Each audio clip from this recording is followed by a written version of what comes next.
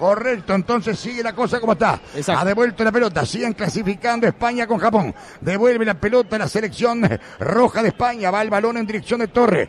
Camina en campo japonés, amaca el cuerpo, llevó por la derecha, jugó para Olmo. Olmo es marcado por Ito, avanza con la pelota, Olmo escapó de Ito, se llevó, escapó también de Cubo, la llevó, tiró centro, rebotó, tomó la pelota Gaby. Gaby le dio para William, mejor España, ahora busca el gol. Va para Gaby, atención, viene el remate bajo, rebotó, tomó la pelota, buena atención que puede venir, eh. Enviaron para Spiricueta, tiro centro, entró Morata, gol. ¡Gol de España! ¡Gol de España! Morata, vino centro de William juntamente con Espiricueta y la pelota muy bien cabeceada cuando yo le venía diciendo prácticamente medio minuto antes que iba a venir el gol, que además es lícito, no hubo ningún tipo de adelantamiento de nada, gana España por 1-0 Morata, cuando transcurren 11 minutos el primer tiempo España 1, Japón 0. Una decisión del entrenador español de mandar a la cancha al goleador. Por eso lo mandó, porque hacía los goles. Morata, el hombre histórico del fútbol español, ganó en el área, metido entre los zagueros, un centro perfecto, un anticipo ofensivo. Morata abre la cuenta y España asegura la clasificación. Lleva tu color. Aubol que va a tomar Carvajal que entró por Aspiricueta en el conjunto de España, lanza la pelota Carvajal. Carvajal entregó el balón que vino en dirección de William, perdió la pelota William, pero tomó el balón Rodri. Rodri para atrás a Torres, Torres va a colocar la pelota de 40 metros más atrás para Simón. La domina Simón, viene a marcarlo. El jugador Maeda saca la pelota, Simón por la derecha, incursiona con Carvajal, pierde Carvajal, recoge la pelota para sacar Rodri. Allí peligrosamente la colocó para el guardameta Simón que levantó la pelota en la izquierda. Va el pase para Valde. Valde perdió el balón, le quita Maeda, va a tirar, tiró violento y gol. ¡Gol! Dohan. ¡Gol! Dohan. ¡Gol de Japón! Dohan. Haga jueguito pelocotado que le van a romper el le rompieron nomás. Allí vino el tanto del empate de Dohan. Se estaba tocando la pelota.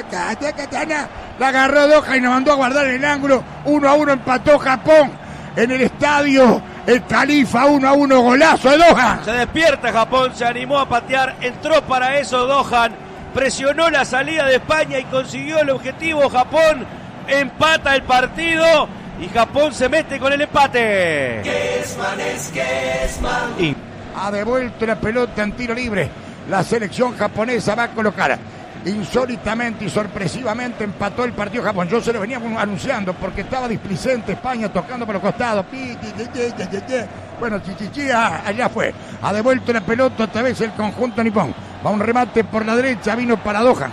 Dohan que empató el partido, jugó para Nakatura. Le dio la pelota en dirección de Mitoma, remató abajo. Ahí está, ¿eh? ¡Ay! Lo perdió, viene gol, gol, gol. ¡Gol de la selección nipona al 17!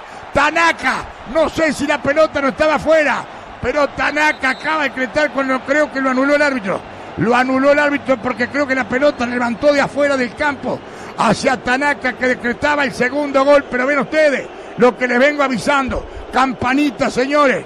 Allí el árbitro del partido está escuchando lo que dice el bar. Para mí levantó el centro de afuera. Un abrupto cambio de actitud de Japón que salió decidido a buscar el partido mucho más vertical.